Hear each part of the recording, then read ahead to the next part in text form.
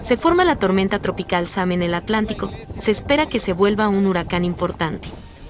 En contenido viral te traemos los detalles de esta preocupante noticia. No te vayas y quédate hasta el final para que lo descubras.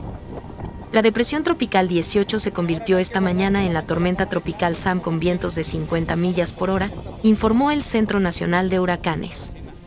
En su boletín de las 11 de la mañana, la agencia meteorológica anticipó que por las próximas horas el disturbio entrará en un entorno favorable para su intensificación, por lo que para mañana o el sábado pudiera alcanzar la intensidad de huracán. Al momento, su centro de circulación se encuentra en la latitud 10.9 grados norte, longitud 38.1 grados oeste y se mueve hacia el oeste a razón de 16 millas por hora.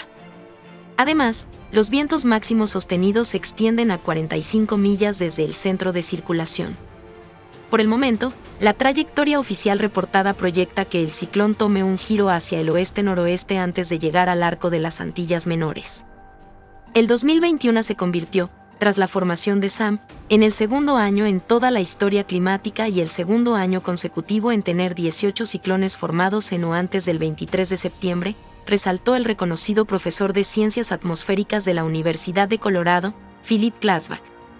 Un día como hoy hace un año se habían formado 23 ciclones tropicales.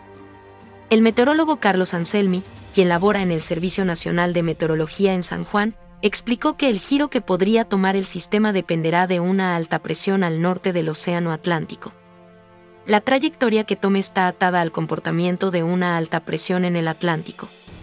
A medida que pasen los días tendremos un mejor entendimiento de lo que pasará con esa alta presión, expresó el experto en entrevista telefónica con el nuevo día. Hasta el momento, la trayectoria debería de estar el martes en la madrugada en la longitud 55 grados oeste, que eso es más de 100 millas al este de las Antillas Menores. Se les exhorta a las personas a que se mantengan atentos para ver cuál sería la trayectoria final, abundó. Sam es la tormenta tropical número 18 de esta temporada de huracanes. Cuando se convierta en huracán, será el séptimo en lo que va de este año. Además, si alcanza la fuera de huracán mayor será el cuarto huracán intenso de esta temporada.